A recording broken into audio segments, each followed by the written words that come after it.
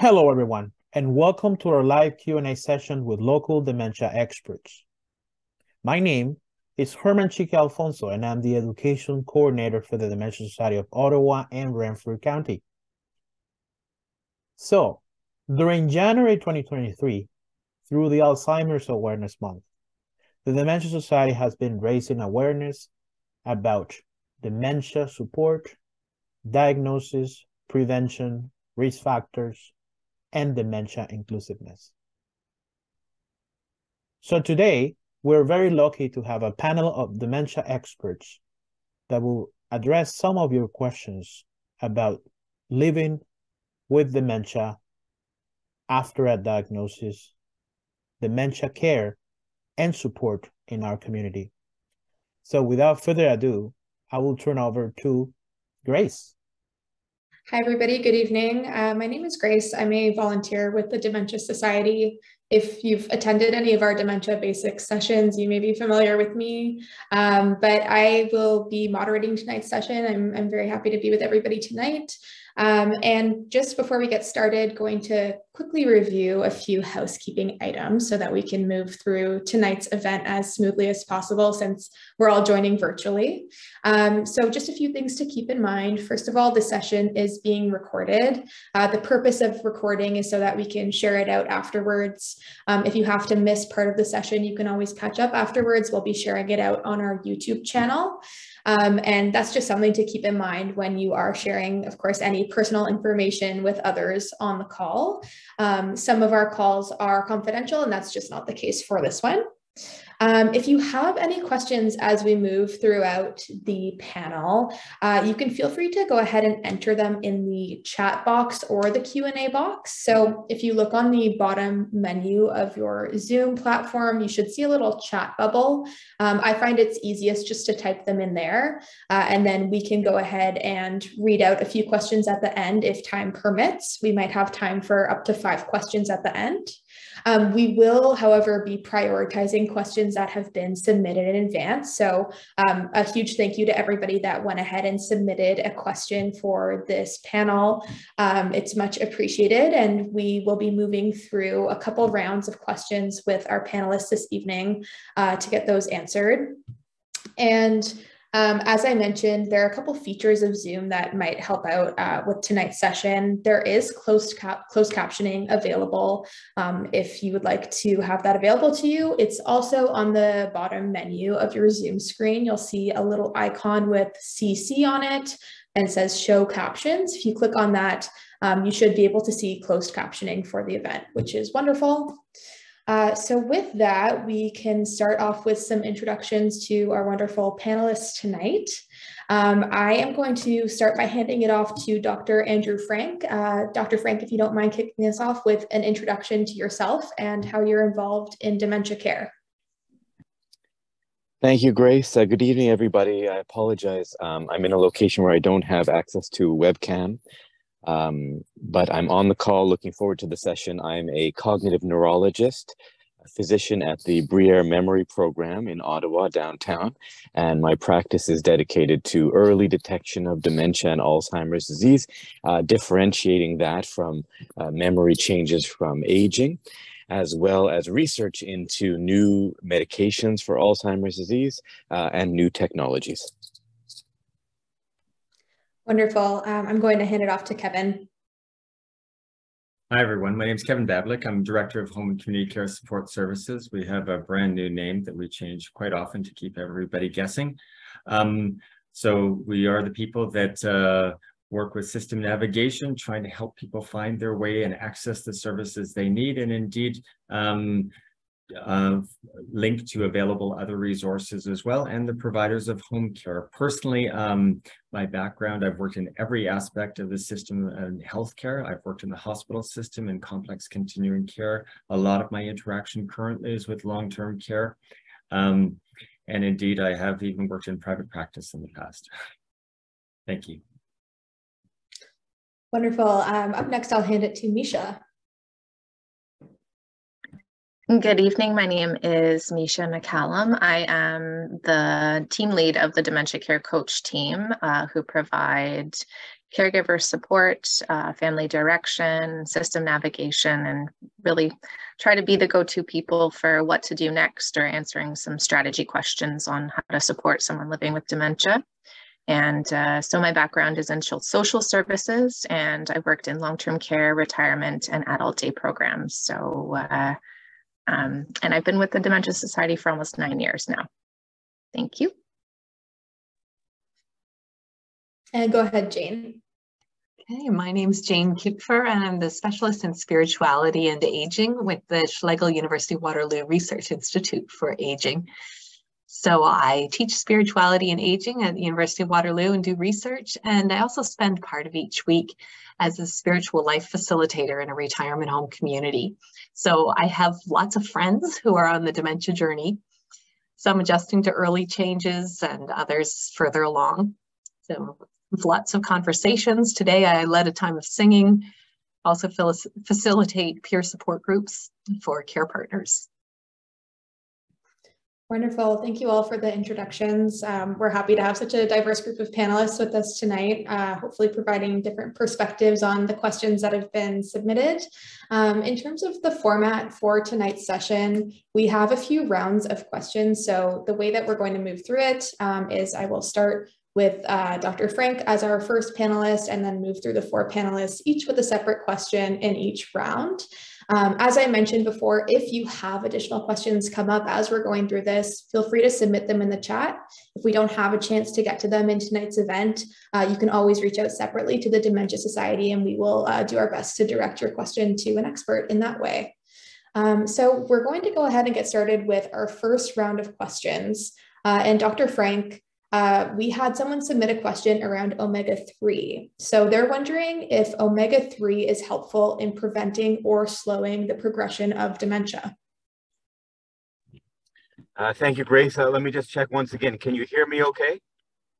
Yep, we can hear you. That's excellent. Uh, and it's, it's an excellent question as well. Thank you for submitting that. Um, omega 3s, um, omega 6, omega 9, they are fatty acids. So they're components of fats, which we take in as part of our diet. As you know, for example, they are a component of uh, oily fish, for example. Uh, and they are broken down in our body and then basically incorporated into the brain as the brain rebuilds itself to um, fix uh, brain cells, to actually allow brain cells to grow and make new connections. They require fatty acids like this to uh, build and grow. So it makes sense that a, a, food like that or a supplement like that should help the brain uh, resist aging and maybe even resist Alzheimer's and dementia. So research has been done in this area to try to answer this question. And there are different levels of evidence when it comes to determining if it's helpful. For example, you can look to see if individuals who do have dementia or don't have dementia and see did one group eat more omega omega 3 fatty acids than the other? And some evidence seemed to show that yes those who ate more fish for example omega 3 fatty acids or uh, who took supplements um, seemed to have less alzheimer's disease problem with that evidence is that even though there's an association between consuming omega 3s and less dementia, that doesn't mean that the omega 3s are causing the less dementia. That is, having an association between two things like omega 3s and dementia or less dementia, um, having an association does not mean that one caused the other. So to really understand that, you actually have to do a kind of trial where you give half of the people in the trial omega 3s and half of the people a placebo that looks like omega 3s. And then, without telling them exactly what they got, and then measuring over time if there's a difference in the dementia over time that's the kind of evidence really that can test if taking, if eating more omega-3s uh, or taking an omega-3 supplement is actually beneficial. And when such trials were done with the omega-3s and placebo, the results were very mixed. They didn't recruit that many people, and some of the trials like that showed a benefit to memory, and some showed no benefit at all and no change in the rate of dementia at all. So we're left with a situation where it makes sense to eat this kind of food, this, this substance, um, but, and there's an association between less dementia and omega-3. But when the trials are done with an actual supplement versus placebo, the results are not clear at all. So where do I, what do I feel about this? I feel that consuming omega-3s as part of a balanced diet, which includes oily fish, as part of what's known as the Mediterranean diet, which has also been researched. And again, there's association level data that it's beneficial to the heart and brain. So the Mediterranean diet with fish, I recommend that. But do I recommend a supplement with purified omega-369 fatty acids? For the reasons I've described, I do not clearly recommend a supplement. But incorporating fish, oily fish, into a Mediterranean diet, I feel is rational and even recommended.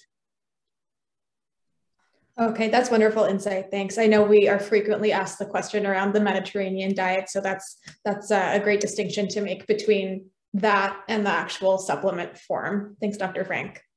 Okay, so moving on with the question for Misha around dementia care. Um, this is a situational question. So they've asked, my wife has dementia and needs 24 seven care.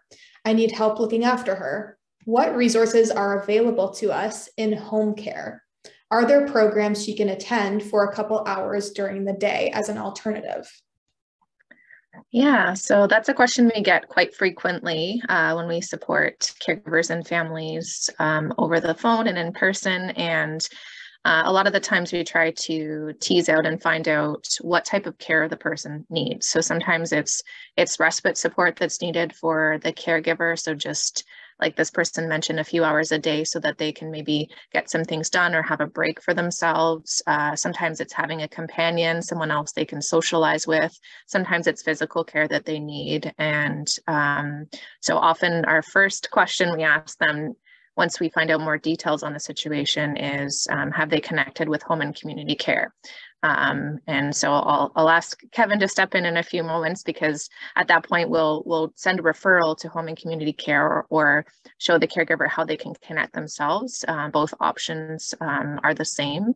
And so we'll, we'll figure out what's best for the family. And then from there, uh, the assessment is done by a care coordinator to figure out what services they need to be linked to. So Kevin, if you'd like to add to that question.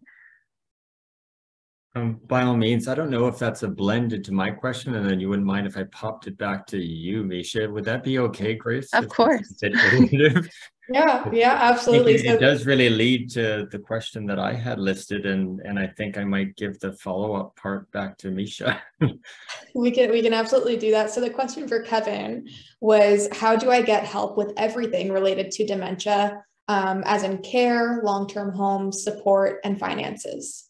Um, so yeah, leapfrogging off the Misha's question, that one goes into it. Well, we are the organization, or we have care coordinate that does coordinate home care, um, as well as access to a number of services, notably long-term care, um, adult day programs, um, assisted living, as well as links with what are called the community support services, which are community agencies that provide a lot of those essentials that might not be the direct care ones, but they are the pe- they are the people that will um, look after transportation, look after um, meals on wheels, look after friendly visitors and things like that.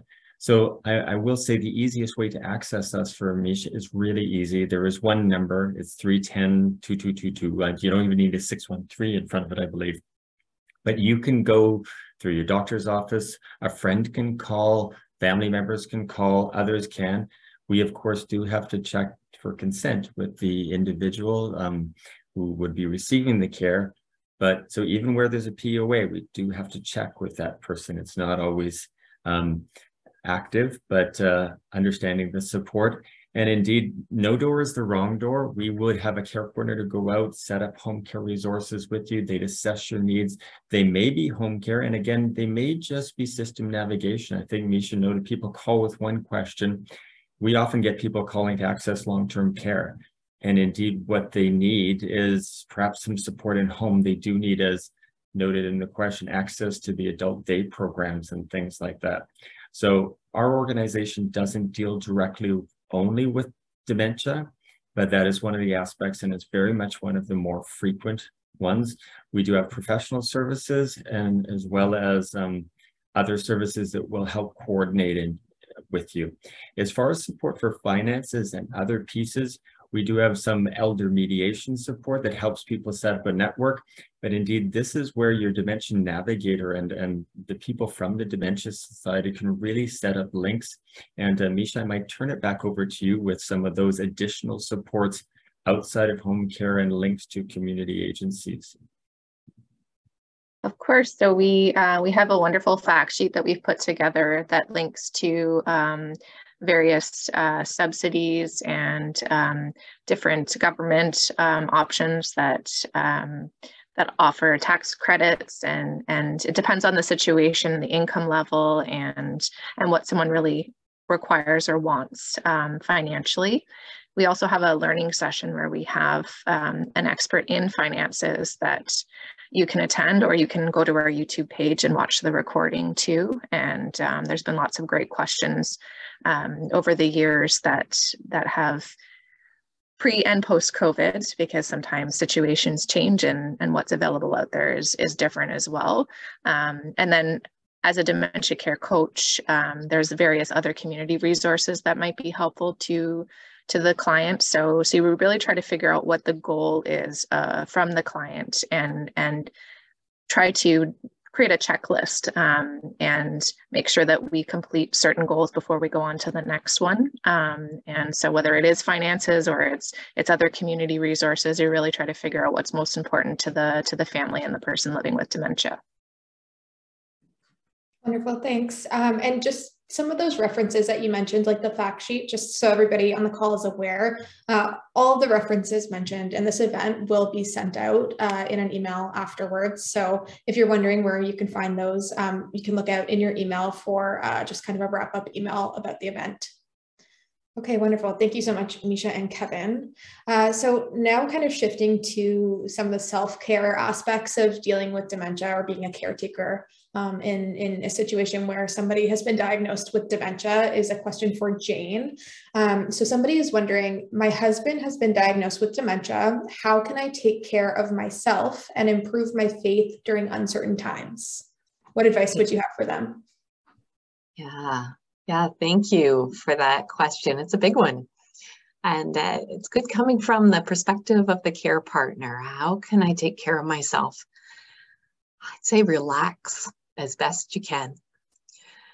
Uh, let your expectations shift rather than, than fight what you can't control and find the freedom to do what works.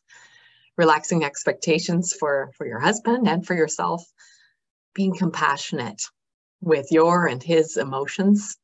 There's a lot of feelings that come with these changes disappointment, frustrations. There's also still joy and peace and, and love as part of life. I encourage you to keep variety and balance in your lives. What's good for your body is often good for your spirit too. So enjoy healthy food, as we've already heard, refreshing exercise, connections with friends, those connections are really important. As you relate to your husband in, in ways that are loving and respectful and adapt to his, his new needs, your friends and your family will learn how to continue to include him and you in their lives as well. Those connections are important for him and for you. Your spiritual life is important. And it isn't a separate category of life, but it can permeate all of your everyday life. Simple practices like breathing, breathing deeply and intentionally, breathing in love, breathing in patience, or whatever it is you need, and breathing back into the world what you hope there will be more of, breathing out peace, beauty. Prayers can be, be very simple in these times. It's about understanding yourself as connected to all that is people, plants, animals, the divine. Those relationships remind you that you're not alone. Everything has its seasons. You can trust that you're all right. Make your caregiving nurturing for yourself as well as for your partner whenever you can. If you're making him a cup of tea, make one for you too and sit and enjoy together.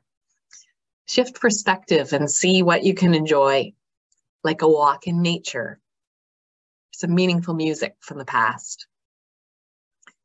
Expect to learn new things every day and let that energize you. Be humble and curious about what you don't know. And there's lots of room for that in the world of dementia.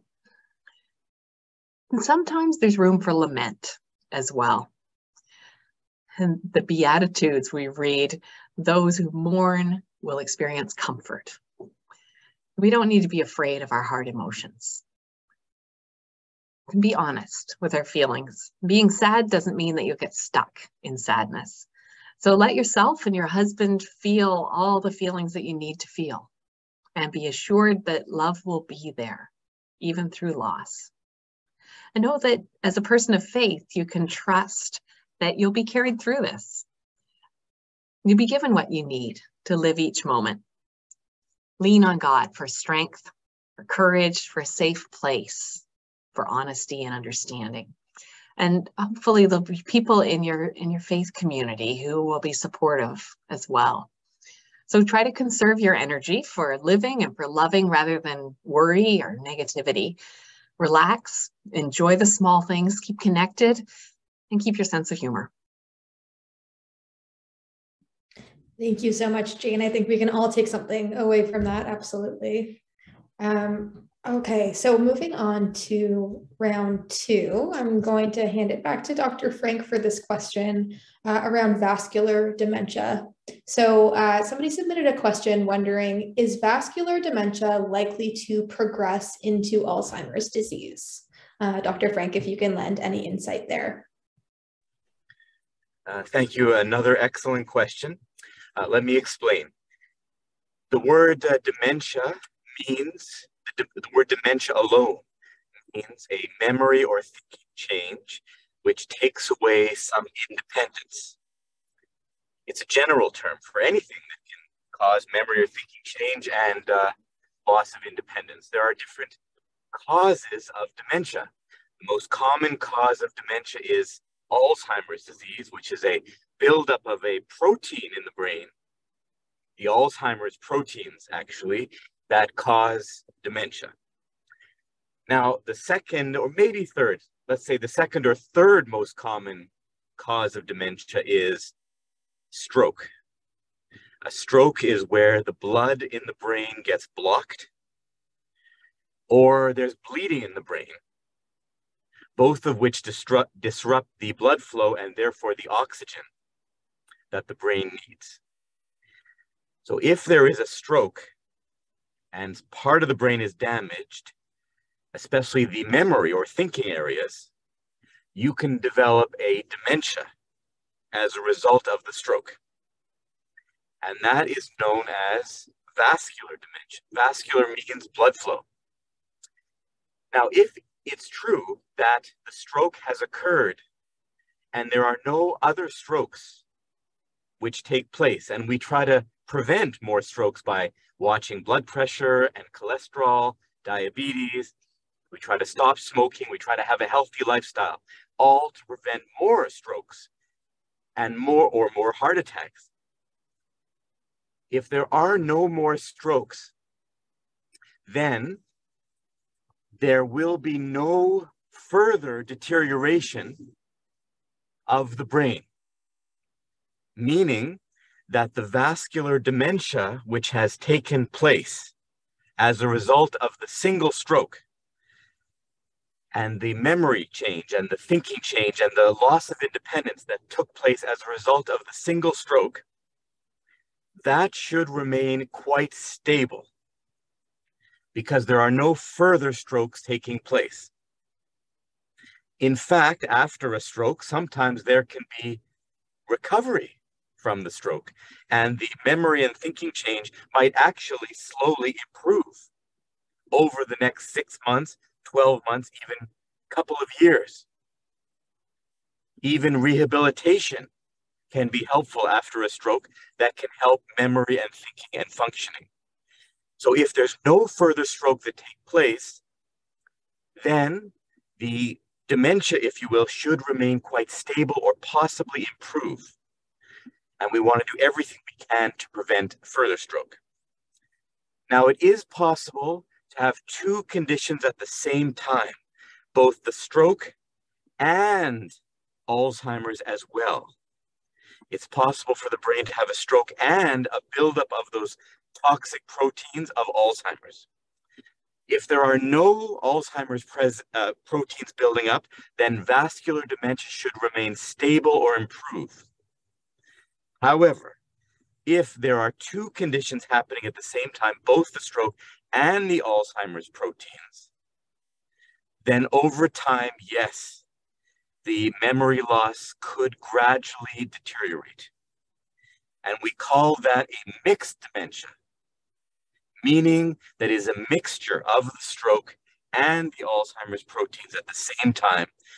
Uh, and that is known as mixed dementia.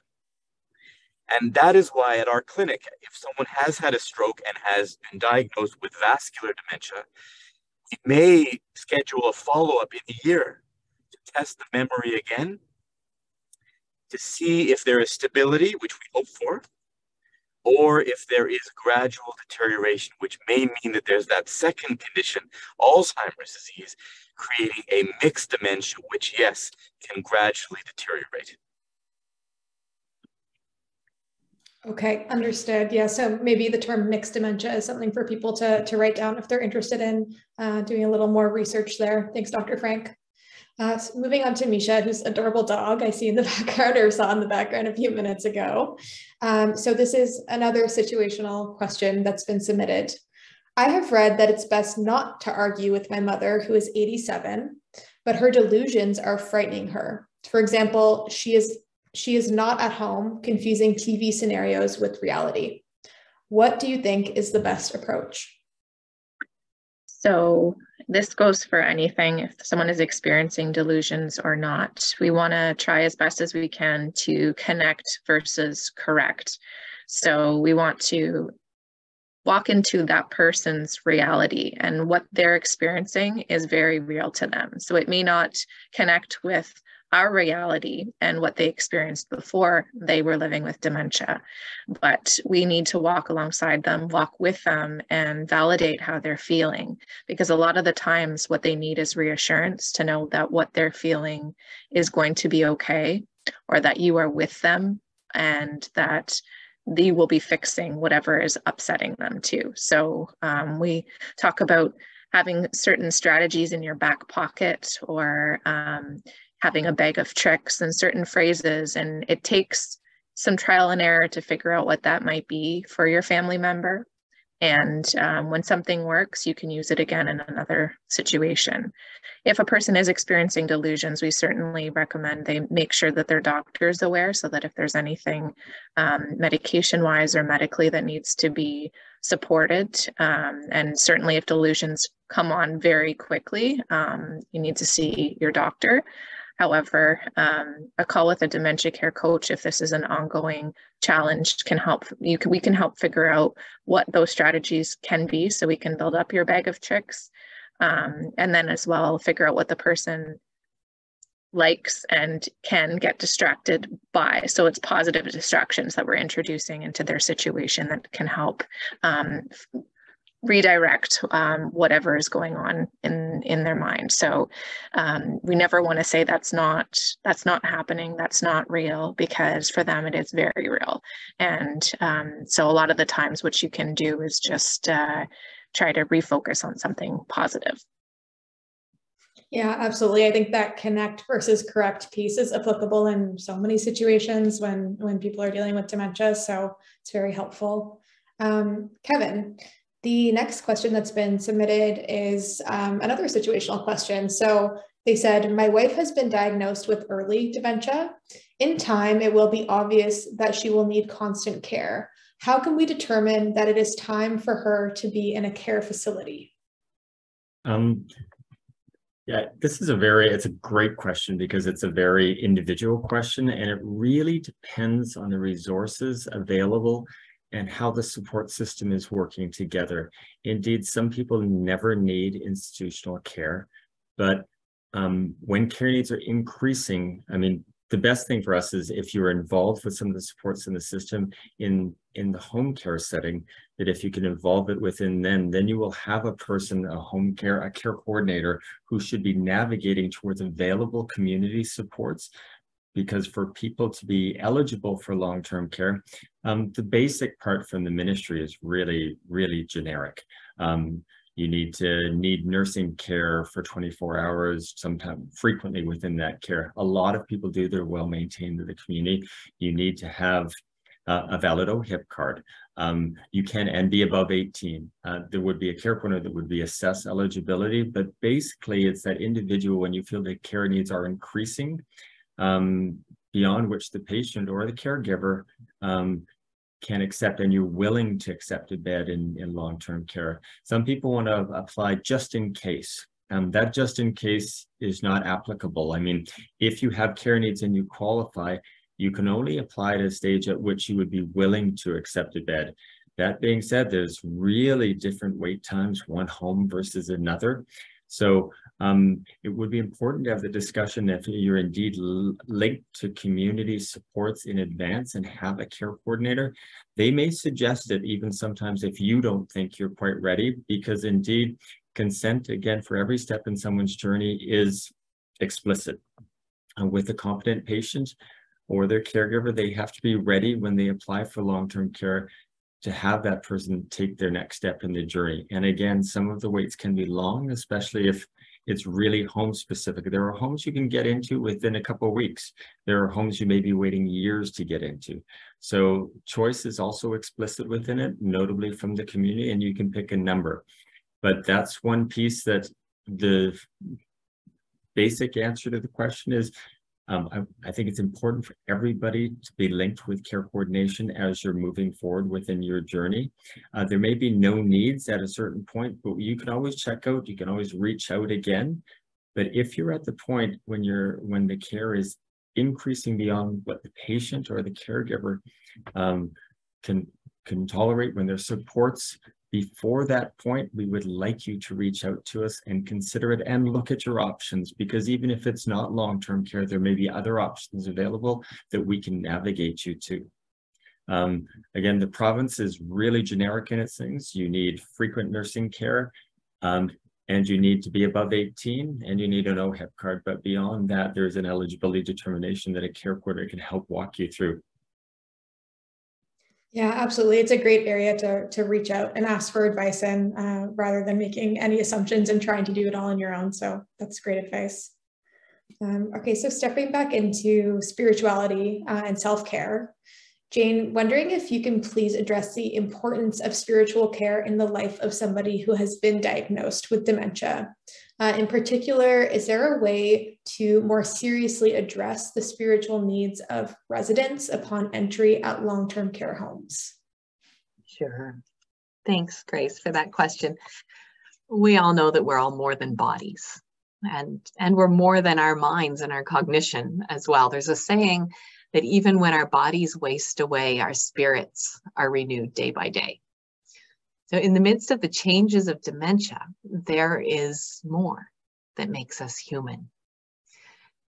Some even say that those who are living with dementia can be our teachers spiritually. It can teach us to slow down, And many of us need to do that, to be in the moment, to think about what matters. I have a list here of spiritual needs that all of us as human beings have. Spiritual needs include to give and receive love, to be understood, to be valued as a human being, for forgiveness, hope, and trust, to explore beliefs and values and be able to express our faith and belief, to express feelings honestly, and to find meaning and purpose in life. From that list, you can, can see that many, if not most of these, uh, apply even in, when we're living with dementia. In my experience, there's just so much richness in time spent in spiritual care with those living with dementia. As a spiritual care provider myself, I'm a strong advocate for there being adequate spiritual care provision in every long-term care home. It makes such a difference.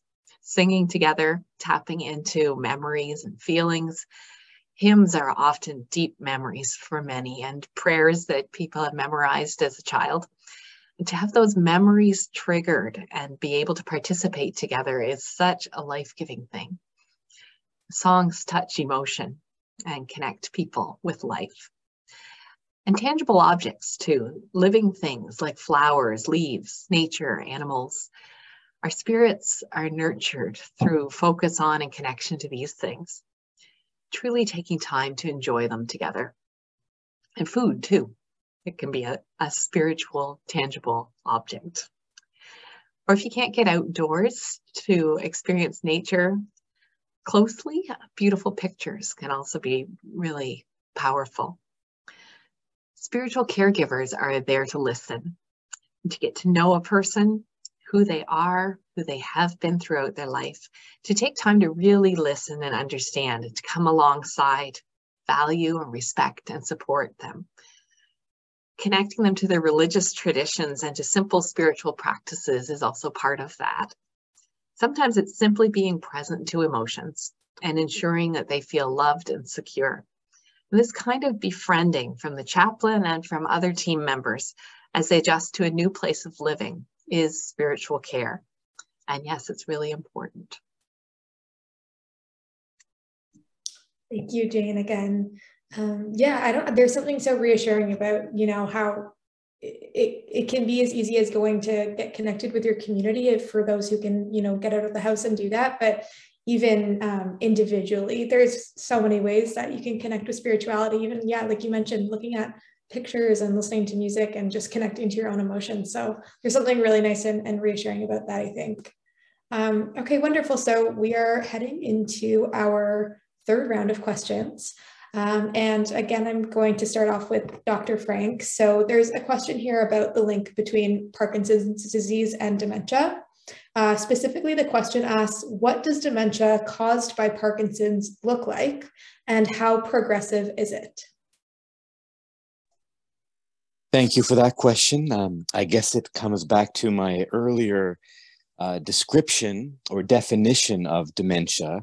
Uh, again, dementia is a change or loss of memory or thinking, which is enough to take away daily independence. That's dementia uh, which can be caused by Alzheimer's disease, can be caused by stroke, which is vascular, and yes, it can even be caused by Parkinson's. Now, Parkinson's is a buildup of a different protein. Alzheimer's is a buildup of a certain protein, call it the Alzheimer's protein, and Parkinson's is also a buildup of a protein, call it the Parkinson's protein. They're different proteins, those two conditions, and that's really what defines them as different the Parkinson's protein classically, not always, but classically causes movement problems first, as we are familiar with the Parkinson's protein as it builds up causes someone to become stiff, maybe stooped in their posture, uh, with a slowness of walking and balance. Um, gradually over time, often with a tremor or shaking of the hands. That is the classic appearance of Parkinson's affecting uh, movement. Now, it is possible for that same Parkinson's protein to not build up in the movement area. And that same Parkinson's protein can just build up in the memory parts of the brain. And it is possible for the Parkinson's protein to build up in both areas of the brain, the movement area and the thinking area. It's possible for the movement part to be affected first and the memory part affected second. It is possible for the memory part to be affected first and the movement part second. And it's possible for both areas to be affected by the Parkinson's protein buildup at the same time. So if all of three of those possibility in or in terms of the order of symptoms can occur. And at our office, again, we've seen all three uh, scenarios. I don't know exactly what determines which area of the brain gets affected first by the protein. There are certainly so many questions that we haven't found answers to, but any three of those scenarios can occur. And when the memory is affected by the Parkinson's protein enough to take away daily independence, we call it Parkinson's disease dementia. Now, you may read about another condition, which is called dementia with Lewy bodies, L E W Y, L E W Y bodies. That term is essentially the identical scenario as Parkinson's disease dementia. And the only reason it has two different names, it's the same protein for both of them. The only reason it has two different names is that initially, uh, those who got the memory symptoms first were called dementia with Lewy bodies and those who got the Parkinson's or movement, the movement symptoms first, they were called Parkinson's disease dementia. But as we've come to realize over time, these two terms, Parkinson's disease dementia and Lewy body dementia with Lewy bodies, uh, are very likely the same condition, just affecting the two different areas of the brain uh, at um, one before the other. Oh, that's fascinating. I know we've gotten questions before about Lewy body, so that's a really interesting link to make. Thanks, Dr. Frank. Um, so handing it over to Misha, there's a question here about eating with dementia and caring for someone who maybe is refusing to eat. Uh, they've asked how to make someone living with dementia eat when they say they are hungry but refuse to eat. What would your advice be there? Yeah, so a lot of a lot of these questions are are so personal to to what the person's routine was before, what they like, what um, what brings them joy, because we try to make mealtime as enjoyable and sometimes fun. Um, we enjoy meals uh, in a lot of cultures with each other. So I think eating with the person who is living with dementia is is one of the key factors because um, nobody likes to sit there and be watched while they're eating. Um, and sometimes that's the, that's the case. You're expecting somebody else to eat um, with or in front of you rather than with you. Um, you want to make sure that the plate that they're eating on whatever you're serving the food um, is a different color than whatever the food is. Because sometimes the way that we we visualize when we're living with dementia, uh, it changes, and you can't necessarily differentiate between food um, and the plate if it is a very similar color. So you want that contrast to be there. Um, and if we're thinking fun, I've had uh, caregivers that I've spoken with. If the person enjoys drinking more than they do eating. Um, you can look at things like smoothies and you can present it in really fun glasses. Sometimes I have a caregiver that will give their um, their spouse uh, a glass, but it has a little umbrella on it, or it's got a really beautiful straw that's uh, served each time. So sometimes thinking about it a little more creatively like that um, can help because we want to associate mealtime with a positive emotional reaction because anything that's connected to a not so positive emotional reaction might have some pushback the next time that you engage in that activity. So it doesn't mean that it's it's impossible to go back or that you've ruined a situation. You just want to try to build more positive experiences the next time you go through it. And we always say that food is better than no food. And so we don't want the person to go hungry. And sometimes the more appealing things might be more sugary or they might be a little bit saltier because our taste buds do change as we age, but then also as as the dementia progresses as well. So um, it can be helpful to make sure that whatever you're providing the person is something that they've always eaten or something that they, they have always liked, um, looks appealing, and and is something that they enjoy. So um, I've had a few cases where dessert is served before um, before the actual main meal, and that gets the person eating, and that's okay. So you just work with what you've got, you trial and error, like I said before, um, and uh, if none of that works, just kind of as a standard generic answer, then connect with one of us, and we can try to tease out what uh, what else we can we can do to help the situation move along. Yeah, that's great. I love that piece of advice about contrast on the plate. It's so interesting. Uh, okay, wonderful. So, Kevin, we have a question here about uh, the long-term care process, and I know you had touched on this in in one of your previous answers. Um, but this person's looking for some uh, more details pertaining to eligibility, uh, waiting list, and requirements for a person living with dementia to be accepted into long-term care in Ottawa. Okay, well, um, long-term care is a complex process. So just as my previous answer, um, care coordinators can help with that. Um, they are obligated, indeed, uh, they have the legislated obligated uh, um, obligation to counsel people on the process, and the process is complex. So don't feel bad if if it seems that way. The quote I made previously, and I've made it before, is long-term care is regulated, perhaps second to nuclear power. Um, there it is not an easy process and you do need somebody to help you with it. Um, the person tasked with that is the care coordinator.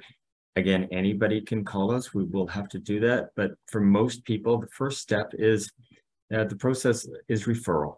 I mean referral to us you can call from anywhere. It can be your care coordinator. If you're already receiving our services then indeed you can just have a discussion with the person you you know um, the next step is a, an assessment process. So the assessment process, um, there's a, little bit of paperwork that has to happen. You indeed do have to sign, you or, you, or your POA or your substitute decision maker that um, you are open to an assessment. Um, that somebody will visit with patient and family, generally jointly, unless we have rare cases where capable patients do not want family, but for the most part, we encourage everybody. There's an eligibility determination. So um, there will be a it will be a fairly extensive assessment. Indeed, there will be outreach to the family physician for an assessment as well. Um, and they'll look to determine if the person is indeed eligible. There are some, it's a standardized provincial assessment that we be gone through. And they will indeed uh, um, reach out to all other, I mean, if the regional geriatric program is involved, they'll look at that and look at all those things and there'll be an eligibility determination based on if your needs can be met in um, in the community or if they continue to. And again, everybody has to consent. There is a capacity evaluation step as well. Um, for the most part, it's really obvious. And indeed, the Consent and Capacity Board does require um, us to consider everybody capable until such time as they're deemed incapable. So, um, and there are, it's again, pretty complex because there's three vectors within a capacity assessment. There is one for personal care, there's one finance. The only one we'll speak to is eligibility for long-term care, whether the person can appreciate the consequences of going or not going. So there are cases where sometimes people aren't even responsible for personal care, but they do give logical and reasonable answers and we would deem them so they would have to that person would have to consent. Um, consent is the next step. After determining the capacity evaluation we will counsel people on their choices and choice is explicit in the legislation. You can choose up to five homes. And you can um, in such case that we've got crisis determination you can choose an unlimited amount. But it is up to five homes. We will counsel you on some of the attributes in the home. Some people may want a francophone milieu. Somebody else might want it in a certain geography. There are some older homes, um, but indeed the care standards are the same throughout. We'll encourage everybody to visit those homes before making choices. Um, the waitlist and admission will also counsel you in that because there are a lot of differences based on where homes are and indeed um, steps on the um, waitlist, it is once again very highly um, regulated in this part. Um, a person with dementia, two individuals may need different pieces. There are some homes that have secure units, meaning that the unit is locked and somebody with exit seeking behaviors. People can wander inside an environment and still be fine in many environments, but those with exit seeking behaviors trying to go outside, they will have limited number of choices depending on the attributes of the home. Um, but again, long-term care, it's really specific. Choice is explicit in the legislation. You can choose. Um, and indeed, there are options. The only piece where that's different is sometimes when people um, I know there's been people concerned in the community right now with, with some changes, but indeed within the community, choice is explicit. So I just wanted that to be clear for everybody. I'm not sure if there's uh, any follow-up or any piece that you think I might have missed on that, Grace. No, that's wonderful. I think maybe one frequently asked question, and you might have a good recommendation here, but what, what's your recommended first step for somebody who's looking to um, get into long-term care? Uh, first step for me would be just calling. I mean, call a number, get involved with a care coordinator. If indeed you're already at the step where you're eligible and looking for homes, some people go and look at long-term caring. I'd like to go there and, and spouse will drive the car there, but that they, they may not qualify or be eligible. I mean, we have some people that um, do not have diagnosis of dementia or people with really early dementia that are entirely independent. They may not be ready for long-term care at that point. I, I understand everybody wants to prepare, but it's that just in case it doesn't apply necessarily. For the most part, it is people that need help with ADLs. It's people that need help with frequent nursing visits during the day. Um, or again, stresses and and and the situational um, piece that every individual is in can be different. Yeah, absolutely. I think that that's a that's a great first step is just reaching out and trying to understand the specific situation you're dealing with and, and what the options might be there. Um, thank you so much, Kevin. So moving back to our spirituality conversation with Jane, um, wondering if there is any particular spirituality resources that you would recommend.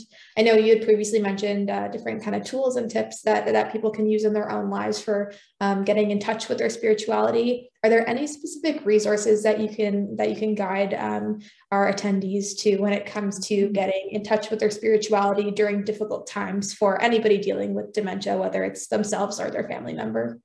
Yes, for sure.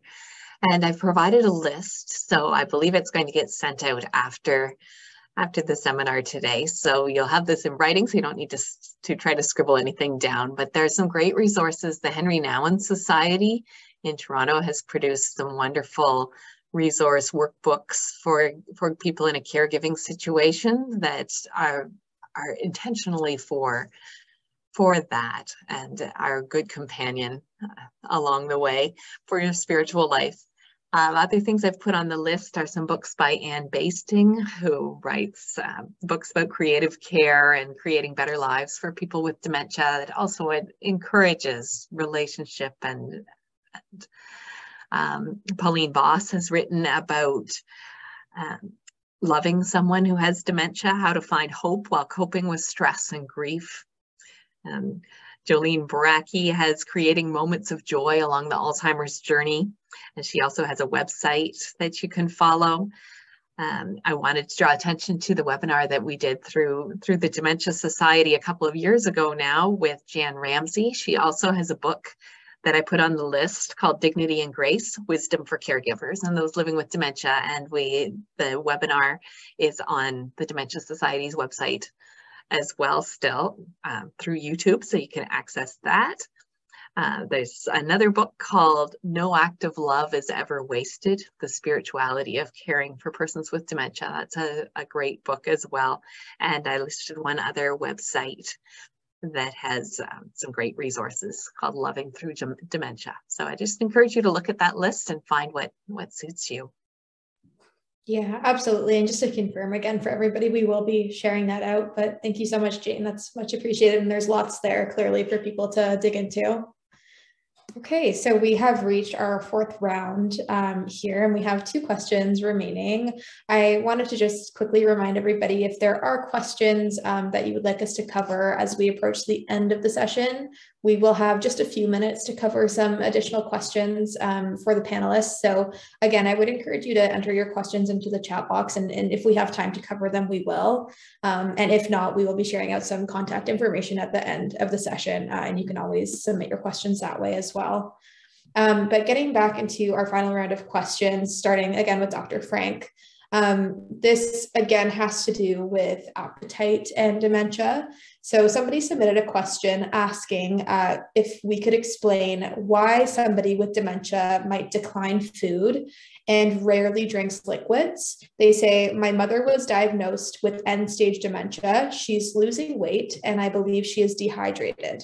But when offered food, she says she's not hungry, but she will take a cup of tea. She rarely drinks more than a couple sips. She does, however, eat a good dinner in the evening. So there seem to be some mixed behaviors when it comes to, to food and drink here, um, and wondering if you can offer any insight there. Yes.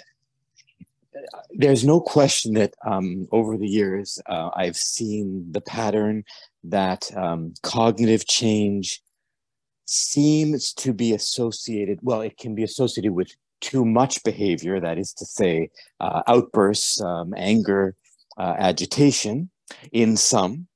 However, in others, the opposite, um, a becoming very quiet, um, placid. Um, I guess the medical term we sometimes use is apathy, meaning really not generating any initiative uh, or interest. Um, and all of that uh, can be a result of dementia and Alzheimer's. And as part of that, I believe the apathy, there is less initiative to eat, uh, to prepare food initially and then to eat. Um, and certainly we would like to rule out any other medical condition that might be interfering with appetite. Uh, uh, is there anything in the gastrointestinal system uh, which is changing, abdominal pain or any uh, cause for that?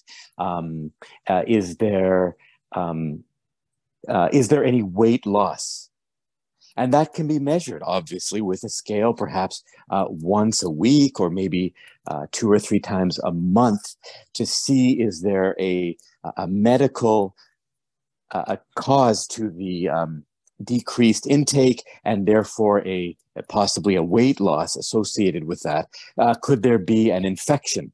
One of the most common causes of health changes in those with dementia is a, a, urinary tract or bladder infection that can affect cognition and even appetite.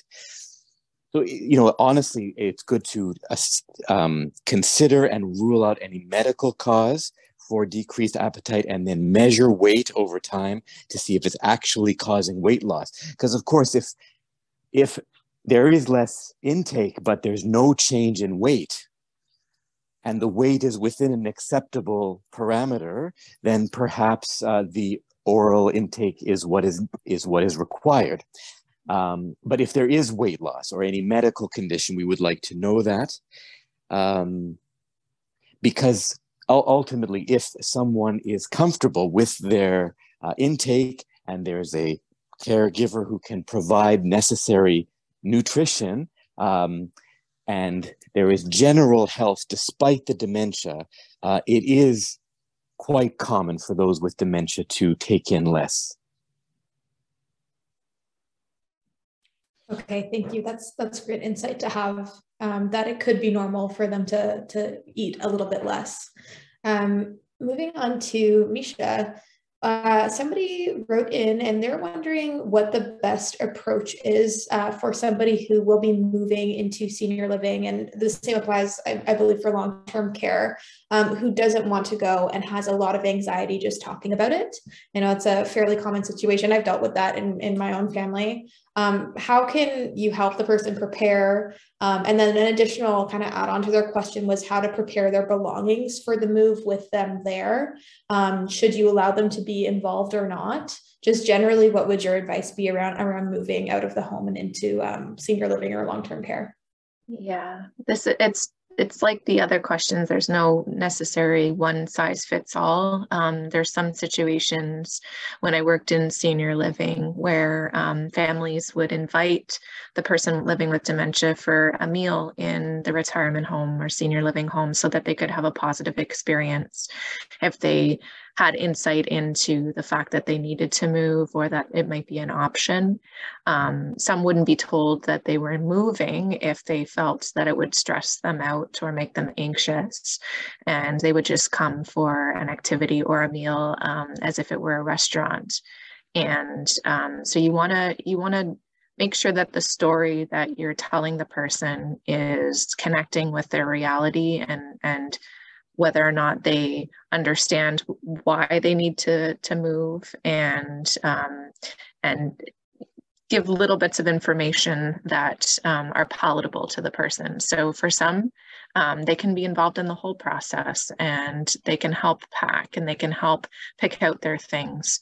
For others, it's too overwhelming. And sometimes when you give too much information, um, it can actually create more anxiety and more fear because sometimes what we fear is what we don't know.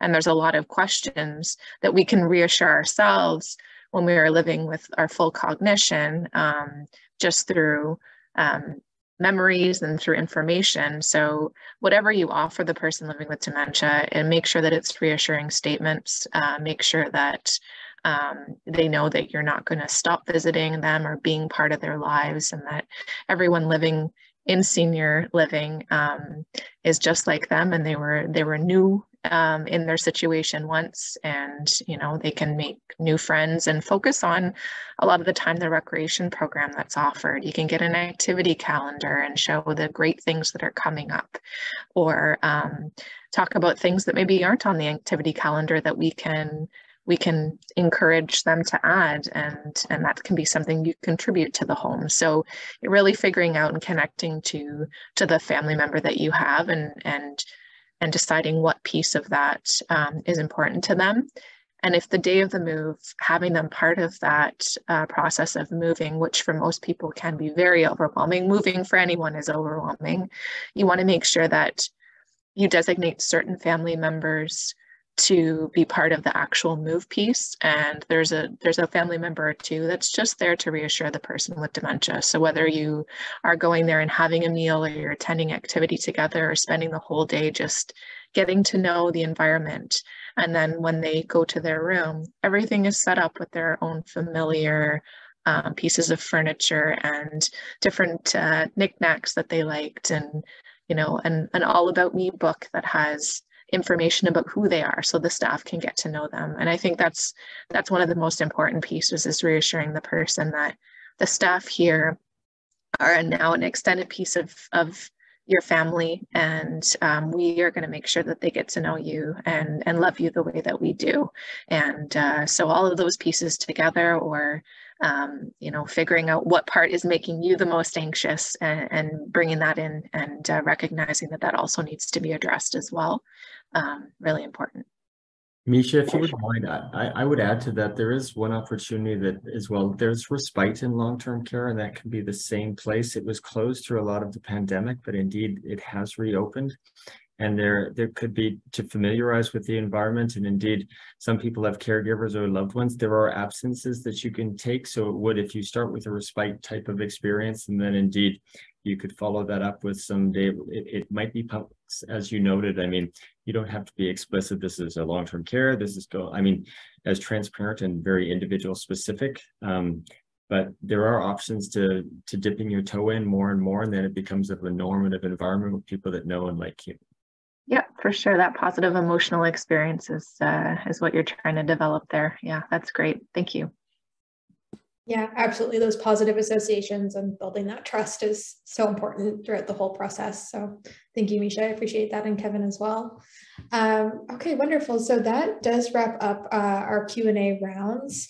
As I mentioned at the beginning of the session and somewhat throughout the session as well, we will be taking a few questions. We have about 10 minutes left in the session, um, just for everybody's awareness. I do see a couple of questions here in the chat and Q&A boxes. I'm just going to go ahead and, and take a look at these um, and try to direct them to the right panelists. So Janet is wondering if aphasia can lead to dementia or whether they're two separate things. Um, I think I'll direct that one to Dr. Frank to start off, and uh, by all means, if anybody else uh, wants to contribute as well, go for it. An excellent question. Um, aphasia, uh, A P H A S I A, aphasia is defined as uh, an abnormality in language, words, uh, reading or writing, uh, both comprehension or and or expression, uh, the input or the output of language. Now, aphasia itself can be caused by many things. Uh, once again, it can be caused by a stroke. Very sudden onset, a blockage of blood flow or bleeding uh, can cause aphasia. It can, aphasia can also be caused by uh, the broad term is neurodegeneration, which involves the proteins that I've been talking about tonight. Uh, either the Alzheimer's proteins or the Parkinson's proteins uh, can all uh, accumulate and damage the part of the brain uh, that that controls language and lead to aphasia. So um, the, the question is, can aphasia lead to dementia? Yes, if the if there's neurodegeneration or the proteins accumulating. Um, because these those proteins can indeed start to build up in the language area, causing aphasia first. And then those proteins can continue to build up in other areas of the brain, affecting uh, judgment and personality uh, and memory, uh, which could then lead to the, the loss of independence, which is dementia. So if the aphasia is due to a single event like a stroke, uh, it may not lead to dementia, but if there is degeneration, those proteins building up, then it may well eventually lead to dementia. Okay, that's that's great insight there uh, about aphasia. Thank you very much, Dr. Frank. Um, I'm just trying to sort through our questions here because there have been a couple of questions that have come through. Um, I see a question from Debbie. Uh, she's wondering, should I ask my mother if she thinks she has dementia? How self-aware are most people with dementia? So i suppose that's in terms of like self-diagnosis um, before they reach out to a medical professional or the dementia society.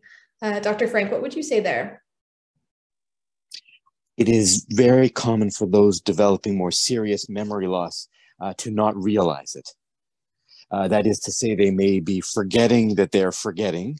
Um, it's it's certainly possible. Uh, so it's it's possible that an individual will not be aware that they are developing uh, dementia. Sometimes, if someone is acutely aware of their own memory loss, that might be a reassuring sign that they may not have uh, dementia. So uh, one's own um, one's own determination or assessment of themselves may not be accurate. Okay, that's that's good to note.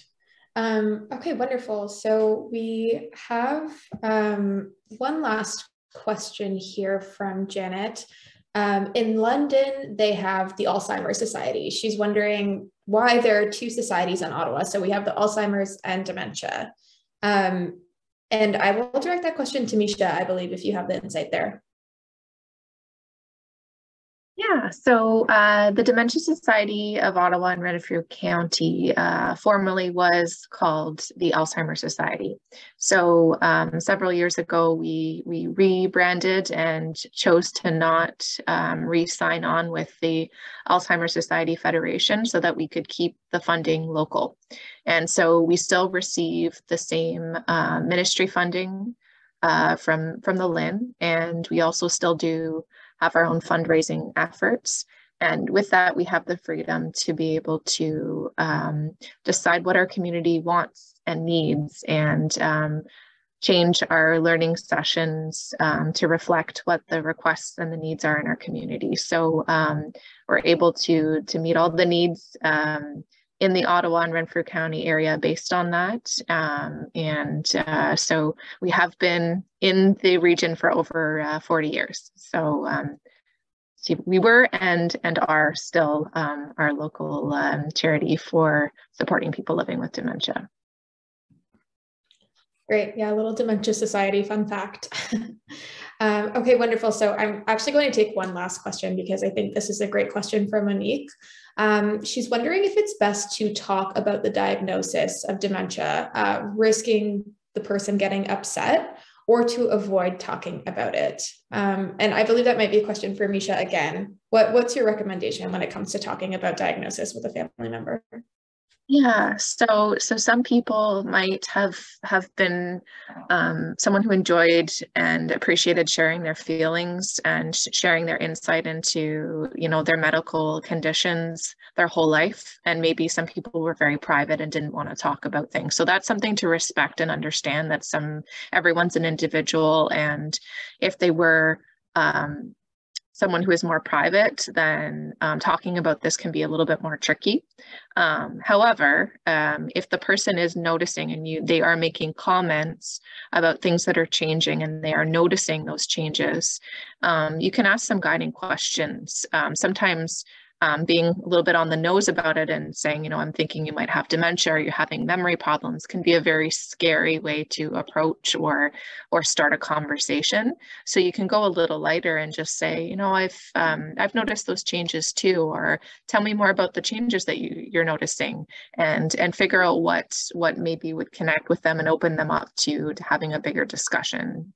So, you know, the and once the person is diagnosed, we have learning sessions here that they can come to as well um, with you as a family, and we can all have those communication um, pieces together. Um, but I think it's just um, taking one step at a time, um, making sure that, that you're not going too heavy too fast because you certainly want to remain in their trust circle and make sure that the that you're not creating those those negative um, reactions around any sort of um, assessment piece too, because we want to make sure that we we can still continue to go back and uh, and uh, not make a doctor's office uh, a scary place too. Yeah, that's right. Back to all those positive associations that you want to build. Okay, well, I just wanted to say a huge thank you to all of our experts, panelists who have been with us tonight answering these questions and sharing their insight. Um, it's been so valuable. I know I've learned a lot. I hope that everybody who's listening has as well. Um, we wanted to run a brief poll. I believe Herman is uh, is setting that up right now. So for everybody who's on the call, you will see a quick poll with a question appear um, on the screen. If you don't mind taking a quick read through those questions, um, answering and submitting, just so that we can understand a little bit more about your experience in today's session, that would be so appreciated. Um, and while you do that, I'm going to go through just uh, a couple of pieces of information as we close out this evening. Um, so of course, thank you all so much for, for tuning in and being a part of this event with the Dementia Society. And thanks again to our panelists. Um, this webinar will be available. I saw Monique's question about um, maybe coming in a little bit late. That's totally fine. The entire session has been recorded and it will be available on demand on our YouTube channel.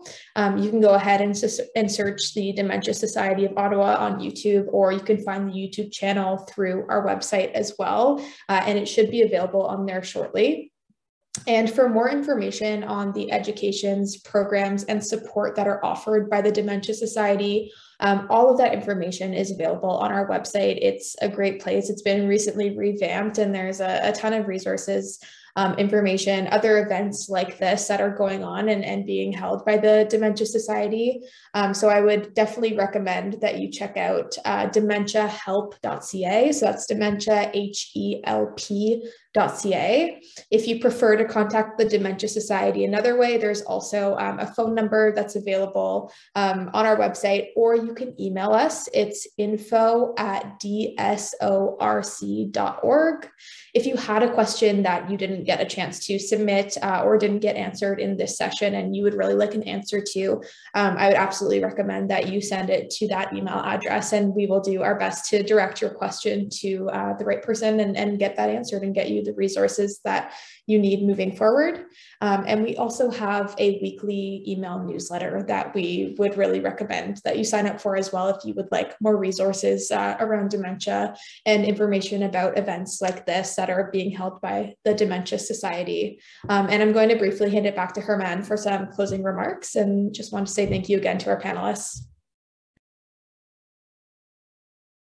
Yes, so well, thank you everyone for the for those answers. Uh, I know the community values uh, all the answers and it's uh, very practical and information that we need at this point through the journey of dementia. So I also like to thank everyone to uh, for participating today. Uh, and uh, yeah, so maybe, I don't know if there are any final remarks, any final message from the from the, the panelists before we wrap up. Thank you to all. Yeah, thanks very much for the opportunity to speak to you today. Yes, thank you to everyone. I've learned a lot. Thank you, everyone. Have a good evening, everyone. Bye now. Thanks again, everyone. Good night. Good night.